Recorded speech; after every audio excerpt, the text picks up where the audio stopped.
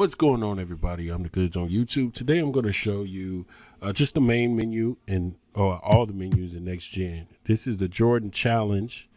Uh, if you want to start the Jordan Challenge, you go here to click that. My career, that's where you have the city, pro am, rec, all that good stuff. And I, I, recommend trying it this year if you haven't tried it in, in, years past.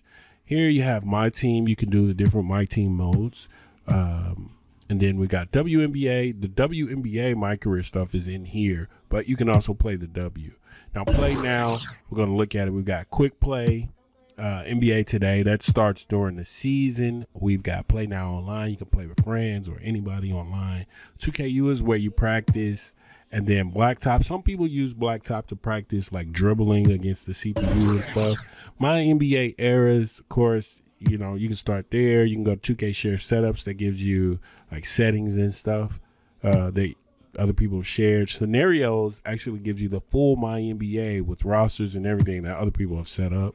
Uh, playoffs, you can't use custom rosters in playoffs, so don't get too excited. But let's go to WNBA. You got the W, that's the my career. My WNBA, that's like my NBA franchise mode. Quick play. Now this is kind of like the quick play for the NBA players. 2K share setups again. That's settings, and then um, we've got scenarios where you can download an entire WNBA scenario. Uh, the playoffs again, no custom rosters or the playoffs. Now, for features, you got settings, sliders, all of that stuff. Um, I'm not gonna get into the sliders, but coach settings, you know, I'll show you guys all the coach settings here. This is mostly for people that don't have this, okay? Controller settings. I'll show you guys what's in this screen. If you don't have the game yet, this video is probably gonna be of use to you. So I'm just showing everybody, and some people like to look at the user interface, which I, I love looking at sports games, uh, user interfaces Anyway, uh, let's see. You got rosters you can pick. If you pick this, you can't really edit players. This is more so to look at the ratings and stuff like that. Then you got create a roster. Now, uh, for NBA, you can choose during an era, and then WNBA, you just choose the current WNBA.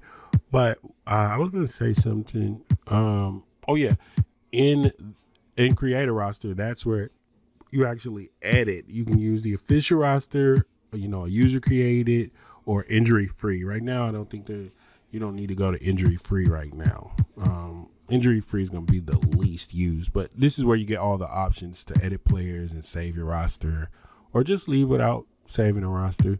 You can do create a draft class, and now create a draft class, you can do one for the NBA or WNBA, so that's pretty cool.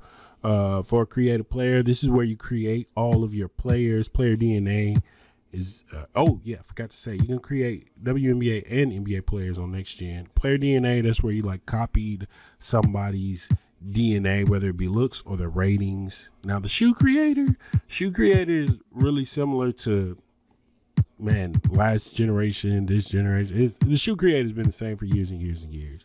All right, 2K Beats, that's where the music is.